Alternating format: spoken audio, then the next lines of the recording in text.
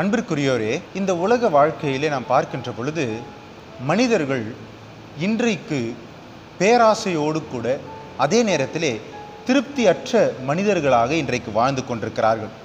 They are dissatisfied as well as greedy இப்படிப்பட்டதான ஒரு மனநிலைமை இன்றைக்கு இருக்கின்ற உலகத்திலே அநேக மக்களுடைய வாழ்க்கையிலே நாம் பார்க்கலாம். இப்படிப்பட்ட சூழ்நிலையிலே நாம் திருமறையை பார்க்கின்ற பொழுது திருமறையிலே முதலாவதாக எனக்கு போதும் ஐ ஹாவ் இனஃப் என்று சொன்ன மனிதர் யார் என்று பார்த்தால் ஒரு பெரிய புனிதரோ அல்லது கடவுளால் போற்றப்படுகிறவரோ அல்ல. மாறாக யாக்கோபினுடைய சகோதரனாகிய ஏசா சொல்லுகின்றார். ஆதியாகமம் முப்பத்தி மூன்றாவது அதிகாரம் ஒன்பதாம் வசனத்திலே ஏசா சொல்லுகின்ற காரியம் அதற்கு ஏசா என் சகோதரனே எனக்கு போதுமானது உண்டு உன்னுடையதை உனக்கு இருக்கட்டும் என்றான். போதும் என்கின்ற மனது இன்றைக்கு நமக்குள்ளாக அநேக நேரத்திலே இல்லாமல் இருக்கிறது. ஆனால் ஏசா போதும் என்று சொன்னார் என்று பார்க்கின்றோம்.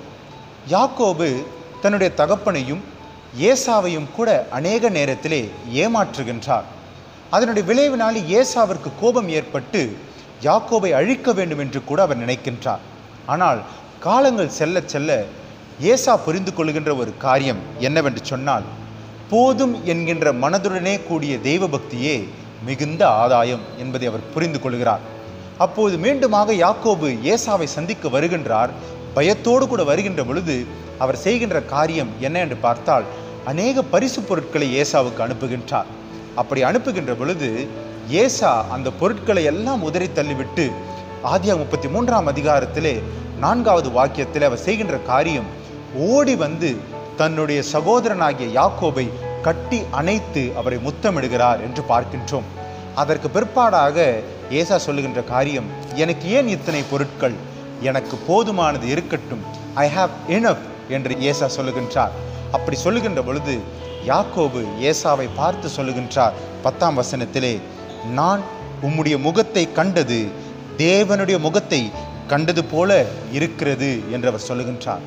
போதும் என்று சொல்லுகிறவர்களுடைய மனது எப்படிப்பட்டதாக இருக்கும் என்று பார்த்தால் முதலாவது they will have right relationship with God and with people கடவுளோடு கூட மக்களோடு கூட சரியான உறவு நிலையிலே அவர்கள் இருப்பார்கள். இரண்டாவது போதும் என்று சொல்லுகின்ற மனதுடன் இருக்கின்ற மக்கள் எப்பொழுதுமே தங்களுக்கென்று பொருட்களை குவித்துக் கொள்ளுகின்ற மக்களாக இருக்க மாட்டார்கள். மாறாக எனக்கு இருப்பது போதும்.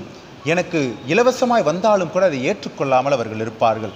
மூன்றாவது போதும் என்று மனதுடனே இருப்பவர்களுடைய முகங்கள் கடவுளின் முகத்தை போல இருக்கும். It will be like the face of God இன்றைக்கு நாம் எப்படிப்பட்டவர்களாக இருக்கின்றோம்?